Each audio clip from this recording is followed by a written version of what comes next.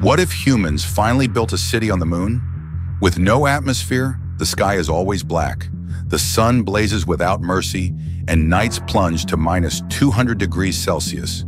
Gravity is six times weaker, making every step feel like slow motion. But inside the city, artificial gravity might be the only way to stay healthy. Radiation is deadly. Without Earth's magnetic shield, our lunar city must be built underground or covered in thick layers of moon dust.